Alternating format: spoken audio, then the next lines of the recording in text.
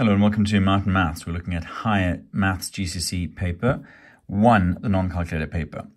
Here's an image of two circles. This one has a radius of 4. Add 2 centimeters to make the radius of the larger circle. Each circle has center O.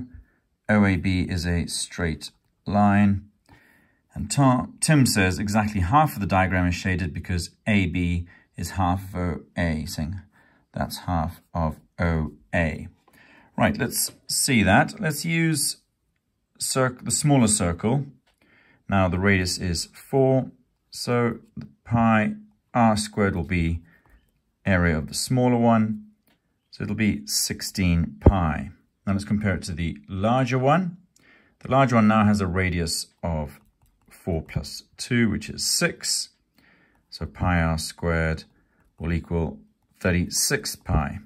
So I'll say that Tim is not correct because 16 pi uh, times 2 would be 32 pi and not 36 pi. So some way of answering that question in a word.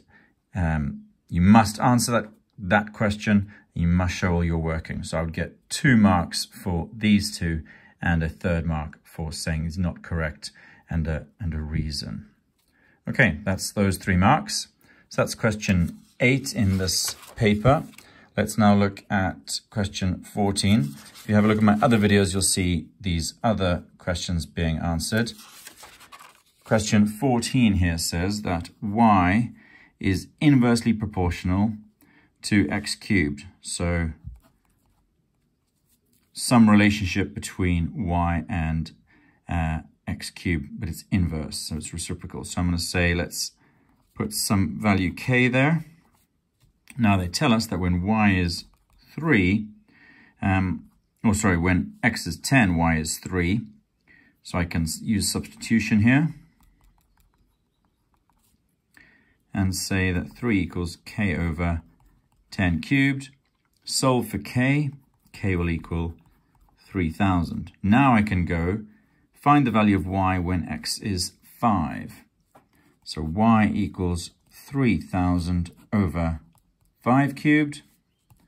So y equals 3000 over 125. It's a non-calculator paper. I Just have to think through how many times that would be.